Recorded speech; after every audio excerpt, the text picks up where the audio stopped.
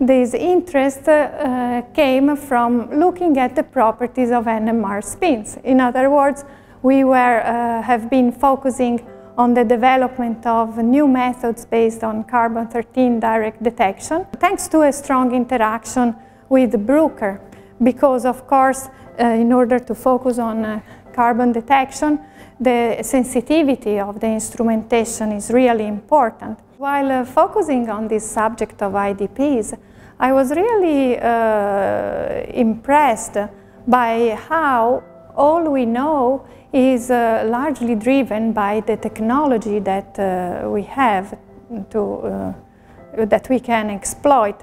And I think this uh, investigation at atomic resolution of proteins gives a clear example. So we have been able to do X-ray uh, of uh, crystals since essentially the 50s.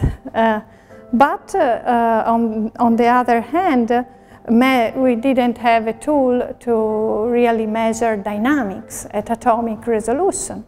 And this is why, uh, thanks to this technology of X-ray, and then of course also NMR to uh, determine 3D structure in a fairly easy manner, did uh, sort of push the community to focus more and more on the study of folded proteins. And of course, with the years, the data accumulated in the protein data bank, explaining a variety of different functions.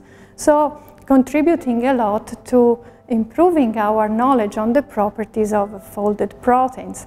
I think NMR naturally can uh, uh, provide a, a, lot of information. On the other hand, uh, in particular, uh, to focus on intrinsically disordered proteins, you need uh, uh, high resolution because of the properties of the proteins themselves that being highly flexible are, um, provide resonances that are all very close to one another, causing the uh, typical problem of extensive cross-peak overlaps in the spectra. So, of course, uh, high fields, isotopic labeling, and uh, tailored experiments is uh, uh, very important to improve the methods to study IDPs. We all know that NMR is uh, great to provide both structural and dynamic information, and that's why it's, of course, a strategic technique in general to study highly flexible and dynamic systems, and of course, in particular, IDPs that are also quite complex. And uh, uh, despite this, I think we can do a lot better if we think uh, at uh, how these properties uh, impact on NMR parameters.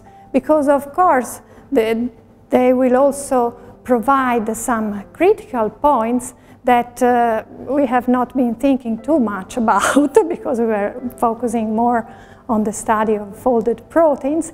And so if we think a bit uh, uh, carefully about uh, the impact of the properties of IDPs, like the highly flexible backbones, the largely exposed amide protons to the solvent, the high dynamics, then we can do a lot to improve further the NMR experiments to be able to study IDPs of increasing complexity.